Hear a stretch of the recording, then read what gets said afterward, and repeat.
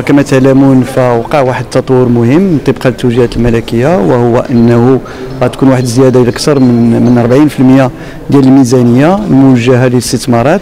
كان آه، وهذا يتعلق أساسا ما هو مرتبط بالسدود وما هو مرتبط كذلك بالربط البيني ما بين الاحواض المائية.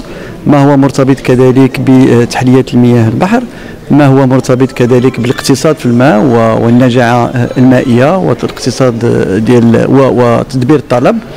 وما هو مرتبط كذلك بالموانئ والطرق والطرق السيار وهذا التحول الذي نعرفه يبرهن اولا على الإرادة الحقيقية ديال أن يكون هنالك خلق فرص شغل والهدف من هذا اللقاء وهو أننا نجعل المقاولات أنها تكون جاهزة لتلبية وهذه الحاجيات وخصوصا أننا نطبق الأفضلية الوطنية باش أن المقاولة الوطنية هي اللي إن شاء الله غتستفد من هذه الاستثمارات وبالتالي هي مطلوب عليها أنها تشغل المواطنات والمواطنين باش يمكنهم يحققوا ذلك.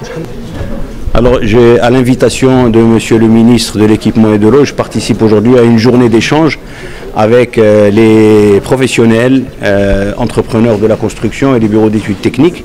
L'objectif est de leur présenter les grands programmes d'investissement dans les infrastructures de transport. Le ministère du Transport a la responsabilité du secteur ferroviaire et des aéroports. Au niveau euh, du secteur ferroviaire, le principal projet est l'extension de la ligne à grande vitesse entre Khenitara et Marrakech, qui est un projet très important dont le montant global, comme je l'ai déjà annoncé, est estimé à 50 milliards de dirhams. Pour les aéroports, il y a trois extensions d'aéroports qui sont prévues, Marrakech, Agadir et Tanger. Ces trois projets totalisent environ euh, un investissement de 5 milliards de dirhams, tout confondu, équipement et euh, travaux de génie civil. Euh, il est entendu que tous ces projets pourront démarrer dès lors que les mobilisations des financements seront achevées.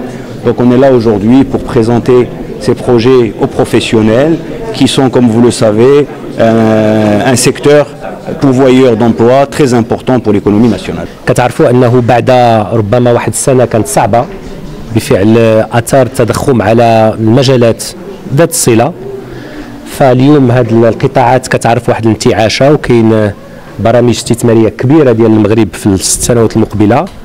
والتحدي اللي عندنا هو كيف جعل كل درهم يستثمر من الأموال العمومية يخلق مناصب شغل.